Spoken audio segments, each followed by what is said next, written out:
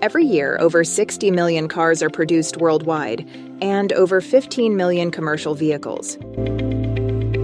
All these vehicles have one thing in common the vehicle identification number, which is affixed to the bodywork.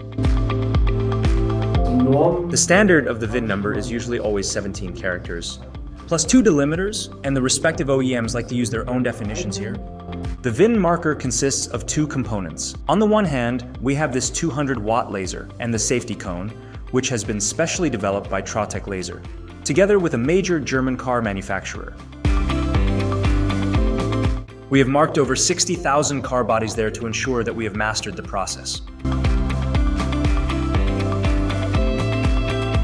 The safety cone is a component that is adapted directly under the laser, it goes directly onto the vehicle body, is scanned again by sensors to check whether we are really on top of it, so that we can achieve laser protection class 1.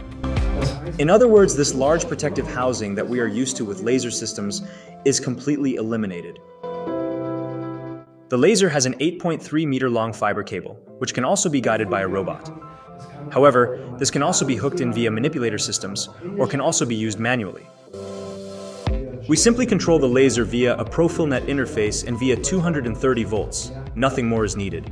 We have tested different materials. The bandwidth that we can image ranges from carbon, aluminum, but also these deep-drawn hard steels, which are now becoming more and more common, especially in electromobility. We can mark them in the specified time, at the specified depth in a completely constant VIN.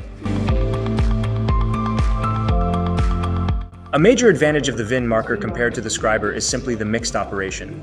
It is no longer the case that a vehicle model runs over a line. In terms of price, this is simply no longer feasible for OEMs. We have different derivatives, but also different bodies.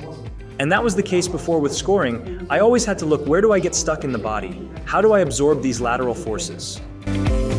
That's all gone too, because with the VIN marker we can pivot into the body without contact. We simply go onto the body panel, enter the number.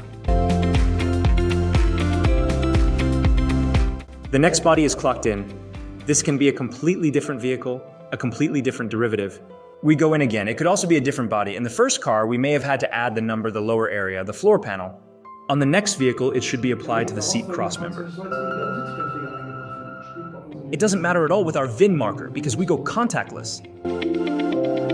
Due to the many locations that we have worldwide, we can guarantee technical service everywhere. Should a problem really occur, we are simply so well positioned that we can guarantee this service worldwide. For more information on integration, technical details, and more, visit our website or contact us.